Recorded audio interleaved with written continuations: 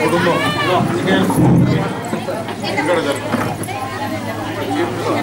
అందరు కూర్చోండి అమ్మా అక్క రండి. ఇక్కడ కూర్చోండి రండి.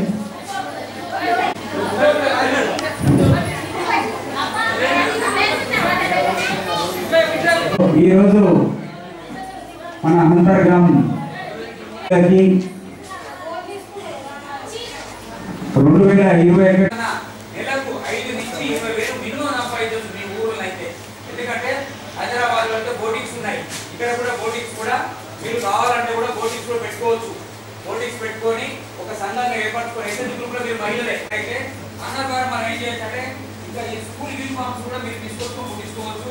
లేదంటే రెడీమేడ్ షాప్స్ మేము బాంబే క్లాస్ ఉన్నటువంటి మహిళలే ఇటువంటి మిషన్ వచ్చిన వాళ్ళే కుడుతూ ఉంటారు. అప్పుడు నేను వేసుకున్న రెడీమేడ్ డ్రెస్ అది కూడా మీరు కుట్టవచ్చు మన పిల్లల రెడీమేడ్ డ్రెస్ మీరు ఉండొచ్చు. కాబట్టి ఆర్థికంగా మహిళలు ఎదగడానికి శాసనసభ్యులు అన్న సంజయ్ కుమార్ అన్న గారికి స్వాగతం సుస్వాగతం.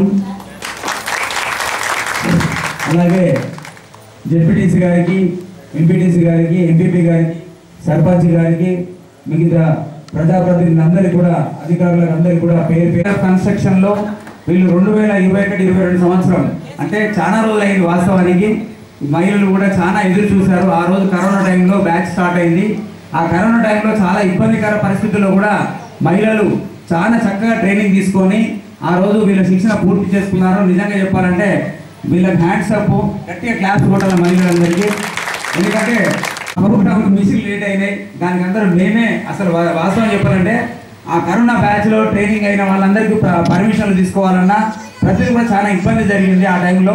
అయినా కూడా మీ అందరికీ కంపల్సరిగా మిషన్ రావాలని చెప్పేసి మన ఎమ్మెల్యే గారు కానీ సర్పంచ్ గారు కానీ ఇక్కడ ఉన్నటువంటి ఎంపీటీసీ జెడ్పీటీసీ కూడా మహిళలకు ముప్పై మందికి కుటుంబ మిషన్లు వచ్చినాయి. వాళ్ళందరూ కూడా అన్న ద్వారా మీకు ఇప్పుడు పంపిణీ జరుగుతుంది.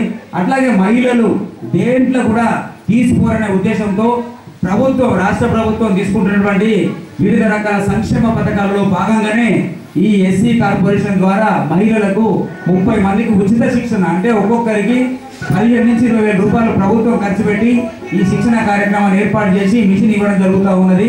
అంటే వాళ్ళ కుటుంబంలో సంతోషాన్ని నింపడానికి ప్రభుత్వం తీసుకున్నటువంటి ఇది ఒక మంచి బృహత్తర కార్యక్రమం. ఎందుకంటే మహిళలు అంటే మగవాళ్ళు పనిచేస్తూ ఉన్నారు ఆర్థికంగా. మహిళలు కూడా వాళ్ళకు కూడా సహాయ సహాయ సహకారాలు అందించాలి కదా భర్తలకు కుటుంబానికి. కాబట్టి వాళ్ళకు కూడా తప్పకుండా వాళ్ళకు కూడా తప్పకుండా ఆర్థికంగా ఎదగాలనే ఆలోచనతో మహిళలకు శిక్షణ ఇచ్చి వాళ్ళ కుటుంబ కుటుంబానికి ఆర్థికంగా తోడ్పడతారనే ఉద్దేశంతో ఈ శిక్షణ ఇవ్వడం జరిగింది. అట్లాగే అందరికి కూడా శుభాకాంక్షలు. చాలా సంతోషం. ఈడి రమేష్ గారు చెప్పినట్టు మీకు అక్కడ నాకున్న దాన్ని బట్టి అక్కడ భోజనం అన్నీ కూడా ఇచ్చి ట్రైనింగ్ ఇచ్చారు. కరోనా కాబట్టి ఆ సందర్భంలో కొంత అటు ఇటు లోటుపాట్లు అయి ఉంటాయి. మామూలుగా అయితే పోయి మనం ట్రైనింగ్ తీసుకొని భోజనము స్టైపాయింట్ కూడా ఇస్తారు. అసలు గడికి రాబోతుంది. అయితే ఈ సందర్భంలో ఇది ఇచ్చినాయి. ఓకే ఇది పెద్ద పనిగా నాకు భావిస్తారు ఎందుకంటే మనం చేసిన వాటిల్లో ఇంకో చిన్న పని. గౌరవ ముఖ్యమంత్రి గారు దళితుల కోసం దళిత బంధు ప్రవేశపెట్టినారు. ఇది చాలా ఇంపార్టెంట్ విషయం నేను ఇవాళ కాదు అన్నింటిలో రికార్డు ఉన్నది. దళిత బంధు ప్రవేశపెట్టినాడు జగితాల గ్రౌండ్లో మంత్రి గారు అందరు ఉన్నప్పుడే నేను చెప్పిన దళిత యువత తరతరాలకు వెళ్ళి గదే వ్యవసాయం కూలి ఆడలు మొగలు ఓడైంది. ముఖ్యమంత్రి మీకు మంచి అవకాశం ఇచ్చాడు. మీరు దయచేసి ఆ మహిళలు కానీ మగవాళ్ళు కానీ ప్రతి వాళ్ళు ట్రాక్టర్ కారు అనకుండా ఇక్కడ జైత్యాల్లో న్యాక్ సెంటర్ ఉన్నది. అక్కడ వెల్డింగ్ నేర్పుతారు. ప్లంబర్ అంటే పైపులు నేర్పుతారు నల్లాలది. కరెంటు పని నేర్పుతారు.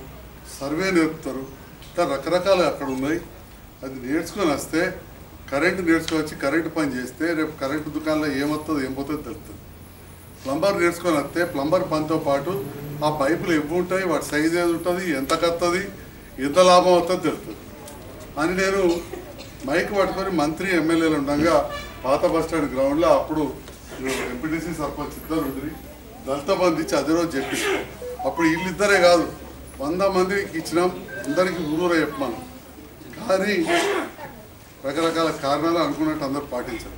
ఇప్పుడు దళిత బంధు ఇప్పుడు కార్యక్రమం ఇస్తున్నాం నేను ముఖ్యంగా కోరుతున్నా ఇప్పటికన్నా మీరు అందరూ కూడా యూత్ మా సంజీవ్ హాస్పిటల్ దుబాయ్ హాస్పిటల్ వచ్చిన వాళ్ళు మళ్ళీ పోయి ట్రైనింగ్ చేసి ఒక సర్టిఫికేట్ తీసుకుంటే మీకు అడ్వాంటేజ్ ఏమవుతుందంటే ఒకటి లేబర్ ఆఫీస్లో మనకు గుర్తింపు ఉంటుంది రేపటి నాడు ఇన్సూరెన్స్ వస్తుంది కుటుంబానికి మూడవది ఇట్లాంటి ఉపాధి ఇచ్చినప్పుడు ఎప్పుడైనా సర్కారు కండిషన్ పెట్టింది అనుకోని ఏదైనా ఉన్న ఐటీఐ ఉన్నోళ్ళకో పాలిటెక్నిక్ ఉన్నోళ్ళకో? ఇది ప్రభుత్వ సంస్థ కాబట్టి ఇప్పుడు ఎట్లయితే మీ ట్రైనింగ్ అయిన వాళ్ళకే మిషన్ ఇస్తారు నేను చెప్పిన వేరే వాళ్ళకి ఇవ్వండి ఇయ్యరు. అట్లాంటి కాలం వస్తే అది ఉపయోగపడుతుంది అని చెప్పి నేను చెప్పిన. ఓకే జరిగింది జరిగింది. ముందుకు పోవాలి మనం. రాజకీయంలో కానీ దేంట్లోనే ముందు ఇప్పటికన్నా ఈ దళిత బంధు పథకం ఆగేది కాదు. నిరంతరం నడుతుంది. కేసీఆర్ గారే పెట్టారు ఏడు పది శాతం మందికి వస్తుంది ఊళ్ళో పదకొండు శాతం మందికి వస్తుంది ప్రతి తొమ్మిది రేషన్ కార్డులకు ఒకరికి వస్తుంది వచ్చే సంవత్సరం మళ్ళీ వస్తుంది. ఏ ప్రభుత్వం ఇవ్వలేదు ఎవరు ఇవ్వలేదు ఇప్పుడు ఇందిరమ్మ గురించి మాట్లాడేటోళ్ళు అప్పుడు ఇందిరమ్మ లేరు. ఇగో ఈ ఇండ్లు కట్టిన కాలంలో నేను పన్నెండేళ్ళ పిల్లగా పెద్దోళ్ళకి ఎరికే. అప్పుడు రాజా ఉండే. ఇటుక పట్టిన రాజా ఉండే. రాజం భారీ ఉందా? అవ్వ కనబడతలేదు. పెట్టించి అప్పుడు ఈ జాగా ప్లాట్లు పెట్టి అప్పుడు ఆ కాలంలో మీ ముందట ఉన్న వాళ్ళు ఎవ్వరు పుట్టలే. ఆ కాలంలో ఇండ్ల మంత్రి విశాఖపట్నం ఆయనే మా చుక్కరావు తాత వ్యవసాయ శాఖ మంత్రి ఉండే పంతొమ్మిది వందల డెబ్బై ఐదులో కట్టిన వాడు శిలాపలకం ఇంకా ఉన్నది. ఆ ఇండ్లు ఉన్నాయి. అంటే నాకు కొంత అప్పటికెళ్ళే తెలుసు ఏంది వ్యవహారం అని. అందుకే ఆడ అరవై ఇల్లు కట్టిన వంద అంటే ఈ దిక్కుమాల కరోనా వచ్చా గుత్తేదారు వీకేడు మళ్ళీ అటు ఇటు మా అయ్యమ్మను పట్టుకొని చేయించిన అది మీకు పెద్దలు చెప్పుకుంటారు. అది కూడా ఇచ్చుకుందామంటే మొన్న కొందరు పోయి ఇట్లా వచ్చినాయి అట్లా వచ్చినాయి కాగితాలు తెచ్చితే ఇక నేను ఈ ఎలక్షన్ ముందర వెళ్ళలేదని ఆపిన. అవి మనోళ్ళకే తప్ప ఇంకోనికి పోవు మన వస్తాయి. సగం ఎస్సీలకు వస్తాయి మాది మాల వాళ్ళకు. సగం మిగతా బీసీ వాళ్ళకి వస్తాయి. అంతే తప్ప దాంట్లో ఇంకో ముచ్చట్టే లేదు. ఇంకా కట్టిస్తా. ఖచ్చితంగా నాకు విశ్వాసం ఉన్నది గెలుతా అని. ఎందుకంటే మొన్న జగిత్యాల రెండు మీటింగ్లు పెట్టినా కథ కథ కేటీఆర్ వస్తే రూపాయి ఇవ్వకుండా పిలవగానే పదిహేను పదిహేను వేల మంది వచ్చారు ఓ డెబ్బై ఎనభై వేలు వస్తే గెలుచుడే మీటింగ్కి వెళ్తేనే పదిహేను వేలు వస్తే వాళ్ళ కుటుంబాలు అయితే అయ్యాయి కానీ అయ్యేపాయ అని చెప్పి విడిచిపెట్టరు నేను ఖచ్చితంగా ధైర్యం చేసి మొన్న అమ్మాయి వచ్చింది భూపాలి ప్రసాద్ భార్య. మరి మీరు నాకు నాకు గురించి మీకు కొంత తెలుసు. నేను శంకర్కో సీన్కో సర్పంచ్ ఎంపీటీసీ ఇచ్చావచ్చు మన సీన్కో నాన్న కానీ శంకర్కి ఎందుకు ఇచ్చిన? వాళ్ళ తండ్రి చచ్చిపోయింది రైతు మీద రాకపోతే వెంటనే రాసేసిన పది లక్షలు ఇప్పించి. సూచించుడే నా ఇంట్లోకి ఇయ్యా. ప్రభుత్వ పైసలు కరెక్ట్ ఇచ్చు గొప్ప. అట్లా కేసీఆర్ సారు మీరు ఆలోచన చేయండి ఎస్సీలకు. మొట్టమొదటి కళ్యాణ లక్ష్మి ఊర్లో ఎవరికి వచ్చింది? మన ఎస్సీలకే వచ్చింది. వేరే బోయోలకో చాకలోళ్ళకో రెడ్డిలకు రాలేదు ఇప్పుడు అందరికి వస్తుంది. మనకే వచ్చింది. యాభై యూనిట్లు కరెంటు దాటితే కరెంటు బిల్ వస్తుండే. వంద యూనిట్లు వేసిన వాళ్ళకి మనోళ్ళకి. అంటే కేసీఆర్ సార్ తెలంగాణ రాగానే మొదలు మన ఇళ్ళకెళ్ళి మొదలుపెట్టి అటెన్గా ఎప్పుడు సర్ద పెట్టింది ఎక్కువ మంది బీదోలు చదువుతారు సర్కార్ పనులు. రేపు దసరాకి టిఫిన్ పెడతాం. ఇంగ్లీష్ మీడియం చాలా అయిపోయింది నేను మంచిగా ఆడుకునేందుకు కూడా తయారు చేసి పెట్టి ఇప్పుడు దళిత బంధు కూడా ఇస్తా రాని వాళ్ళు నారాజు కాకుండా ఇప్పుడు ఖచ్చితంగా మన ప్రభుత్వం ఉంటేనే అది వస్తుంది. ఈ చిన్న మిషన్లే కాదు పది పది లక్షల రూపాయలు ఖచ్చితంగా వస్తాయి. మనం కాపాడుకొని మీరు. కాపాడుకుంటే నన్ను కాపాడుకున్నందుకు జైత్యాలు ఎంత పెద్ద దవాఖాన అయింది నలుగురికి నౌకరు దొరికింది. నాలుగు వందల మందికి మంచాలు వచ్చినాయి. అంతకుముందు పాత బస్ స్టాండ్లో వందలు లేకుండా ఇంకా రెండు వందల యాభై వస్తాయి. అంత కడుతున్నాం. చూసిరు కదా? రాత్రిపూట ఇట్లా కాలువపాటి పోతుంటే అద్భుతంగా కనబడుతుంది. ఐదు వందల కోట్లతో కడుతున్నాం. ఐదు వందల కోట్లతో మళ్ళీ ఎవరు పోతాడు మనోళ్ళే కదా. ప్రతి వాళ్ళు కూడా ఆలోచన చేయరు. మీరు గెలిపించిన నేను మీరు అందరూ ఓట్లేసారు ఒక్కోటి కూడా వాళ్ళ ఊళ్ళో అంతా కట్ట ముప్పై నలభై వేలు ఆడ ఈడ ఈడ ఆడ. తాగుపోతాడో వాడో వీడో. లేకపోతే మనోళ్ళకి మనోళ్ళకి పంచాయతీలు పెట్టుకొని నా మీద నారాజయ్యారు నేను అందరు సమానమే నాకు. అందరు సమానమే. మీరు ఈ మాటగా గత రెండు ఎలక్షన్లలో అన్ని ఊర్లలో తిరిగి ప్రచారం చేసారు ఇది ఎలక్షన్ సభ కాకపోయినా మిమ్మల్ని కోరుతున్నా. మా యువతులు అక్క చెల్లెళ్ళు యూత్ ఉన్నారు మళ్ళీ అట్లనే చేసి నన్ను గెలిపింది ఇంతకు డబల్ పని చేసి పెడతా. వాస్తవానికి మీరు ఆలోచించండి. నేను ఒక్కసారి గెలిచిన. ఒక్కసారి గెలిచిన. మీకే ఇంతకుముందు చెప్పిన కరోనా. ఏడాది అర్థం కరోనాలో వీకింది కదా. ఇక నాకు మిగిలినంత మూడు మూడున్నర ఏళ్ళు. అలా కాగితం పడిపోయి అయినా బ్రిడ్జ్ కట్టినాం చెరువు నింపినాం ఇల్లు కట్టినాం ఇటువంటి అన్ని చేస్తున్నాం. మన పార్క్ చేసుకున్నాం లింగాచెరు కాడ బతుకమ్మ తంతలు కట్టుకున్నాం. ఇవాళ అంబార్పేట గుట్ట మంచిగా చేసుకుంటున్నాం.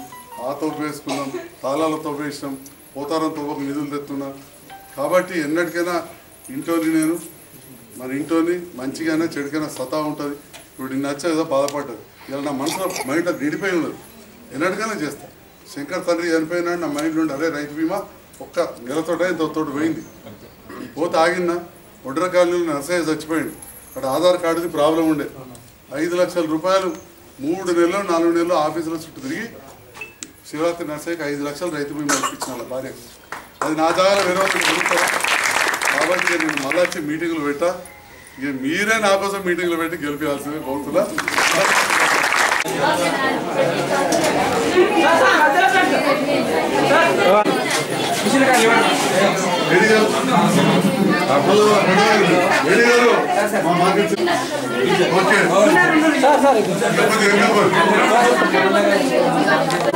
సార్ సార్ గిడి చూడాలమ్మా మీరు రెడీ చేయండి, పోవాలి.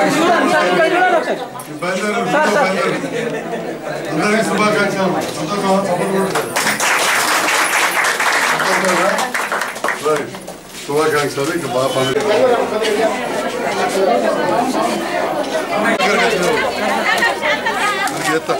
అమ్మ ఫాస్ట్ కానీ